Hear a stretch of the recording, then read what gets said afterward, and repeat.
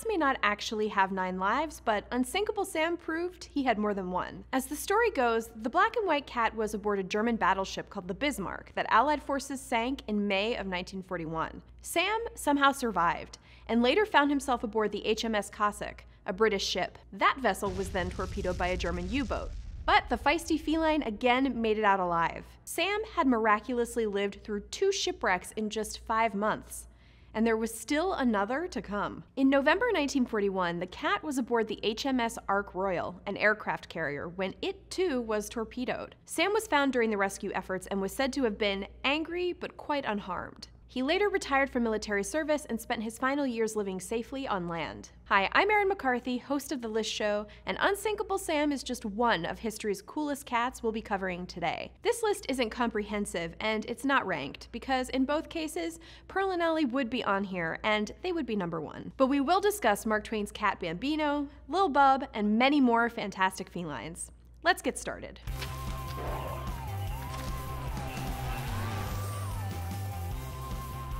I should say, some historians doubt that Unsinkable Sam was actually a single cat, and not a number of different kitties united by a single legend. But that's not an issue with our next feline with a storied military past. Able Seacat Simon was a black and white cat who served on the HMS Amethyst in 1948 when the British vessel was in Hong Kong. The next year, while the ship was en route to guard the British embassy during the Chinese Communist Revolution, the People's Liberation Army attacked, and the amethyst ran aground. Simon was injured during the assault, but that didn't stop him from playing an important role during the 101 day long siege. He kept the ship's rat population at bay, preventing the rodents from devouring the limited food supply. After the siege ended and the crew returned to England, Simon was awarded the Dickin Medal for animal bravery. He's the only cat to have ever received that honor. Not all cats who served their country did so in the military. Though there were probably cats prowling around the White House as long as there have been first families on the premises, the historic mansion didn't house any official first cats until Abraham Lincoln took office. The president was gifted two kittens from Secretary of State William Seward.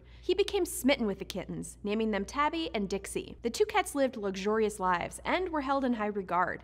Lincoln once let Tabby dine at the table during a formal dinner, and he reportedly remarked that Dixie was smarter than my whole cabinet. Felicette went where no cat had ever gone before outer space. She was one of several cats chosen for France's CERMA training program. Felicette, also known as Subject C341, was put through a rigorous training program, which I would love to see footage of, and ultimately came out on top. In October 1963, she was strapped inside a rocket and sent into space, reaching about 100 miles above the planet's surface. 15 minutes later, she was safely back on Earth. Sadly, Felicette was killed a few months after her historic journey, so researchers could study how space travel affected her brain. In 2020, a memorial was finally erected in her honor. Chester's contributions to science end on a less depressing note. He's the co author of a very influential physics paper, though he didn't actually do any work. Michigan State University physics professor Jack Hetherington wrote a paper about atomic behavior that wound up getting published in the journal Physical Review Letters in 1975. Before sending it in, Hetherington was told by a colleague it would be rejected because he had used we rather than I throughout the paper, even though he was its only author. Rather than go through and make the edits, he simply tacked on another author, FDC Willard, who was really Chester. FDC stood for Felix Domesticus Chester. Willard was the cat's dad. Hetherington's deceit didn't stay a secret for long, but people weren't mad. Everyone laughed, and soon the cat was out of the bag, he said. Chester was the sole author of a paper about solid helium that was published in a French popular science magazine in 1980, again under the name FDC Willard. He was also invited to join Michigan State University's physics department. As the department chair wrote in a letter, can you imagine the universal jubilation if in fact Willard could be persuaded to join us, even if only as a visiting distinguished professor? Macak is another cat science owes a debt of gratitude to. He was the childhood pet of Nikola Tesla. The famous scientists love Macak, even calling him the finest of all cats in the world. In addition to being a loyal companion, the cat quite literally sparked Tesla's interest in electricity. As Tesla recalled in a letter, in the dusk of the evening, as I stroked Macak's back, I saw a miracle that made me speechless with amazement. Macak's back was a sheet of light, and my hand produced a shower of sparks, loud enough to be heard all over the house. His father explained that electricity was to blame. But Tesla continued to ponder the incident. I was thinking abstractedly, he wrote. Is nature a gigantic cat? If so, who strokes its back? These are the questions scientists need to be asking. Tesla carried that curiosity with him for decades, eventually contributing to his groundbreaking work with electric power. Cool cats didn't just influence science, some left their paw prints in the arts as well. After the 19th century artist Louis Wain's wife, Emily, became sick from breast cancer, he adopted a kitten named Peter that he soon started sketching. He realized he liked drawing cats and continued to incorporate them into his art. The felines in Wain's illustrations grew more anthropomorphic as time went on. They played games, got drunk, and did all sorts of other human activities. His cat drawings were a huge hit in Victorian England, for obvious reasons. Cats have been inspiring writers for centuries. One 9th century Irish monk penned a poem about his beloved pet, a white cat named Pangur The poem was written in Old Irish, though it's been translated many times. Based on what the monk wrote about Pangur we know he was both playful and a keen hunter. Calvin was a Maltese cat who wandered into author Harriet Beecher Stowe's home and never left. When Stowe moved to Florida for the winter, she sent Calvin to her friend Charles Dudley Warner. The cat left a great mark on Warner. After Calvin died, Warner wrote a long, touching obituary that he included in later editions of his book, My Summer in a Garden. The piece began Calvin is dead.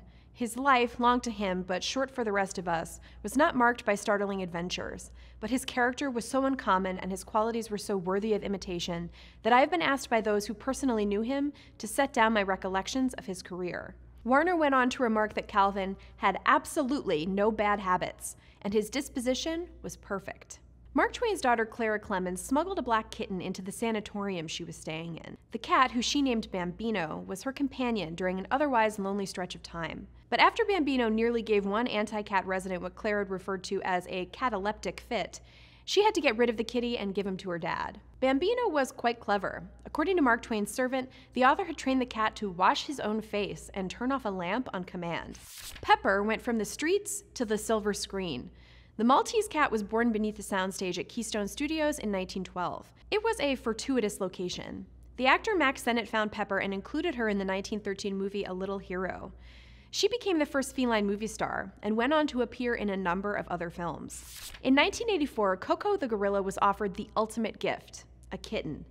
She chose a gray and white female cat and named her All Ball, using the modified American Sign Language she had been taught to communicate with humans. Coco loved spending time with All Ball and played with her daily. The cat reacted to her as she would a human, but she was pretty independent and would bite Coco or wriggle loose when she got tired of being babied, Ron Cohn, a biologist who worked with Coco, once said. Coco was devastated when All Ball died after being run over by a car. When her caretakers told her about All Ball's death, Coco whimpered with sadness. A few days later, she signed the words sleep cat.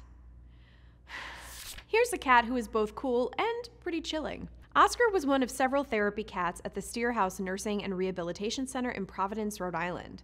He wasn't the friendliest therapy cat, but he had an unsettling ability to sense death. Oscar would curl up at a resident's side a couple of hours before they died. The staff would pay close attention to the cat's whereabouts. If they noticed him spending time with a particular patient, they would contact that person's loved ones to let them know death was at the door. We still haven't figured out how Oscar knew when people would die. The cat himself passed away in February 2022 at age 17.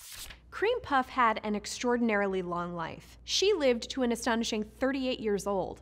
That's a solid two decades over the average lifespan of a cat. Creme Puff died in 2005 after spending decades living in Austin, Texas. She remains the oldest cat ever recorded. Lil Bub was one of the most famous cats of the 2010s, and though her life was short, she left behind a lasting legacy. Bub was famous for her adorably unusual appearance, a result of feline dwarfism and osteopetrosis. Though her mobility was limited, that didn't stop her from meeting fans and raising awareness for special needs animals. Though Lil Bub died in 2019, an organization called Lil Bub's Big Fund continues to support the cause. We'll end with a cat who was the very definition of cool. Tombili was one of Istanbul's many street cats, and was beloved by locals, as evidenced by her portly stature. Tombili liked to lounge around the city's Ziver neighborhood. A photo of her in her signature pose, slouched to the side and utterly relaxed, catapulted the cat to internet fame. After Tombili died in 2016, a statue of her was erected within Istanbul. The memorial was stolen not long after, but it was returned following a large public outcry. Did we leave out any great cats? Preferably of the historically significant variety? If so, let us know in the comments. Thanks for watching, and we'll see you next time.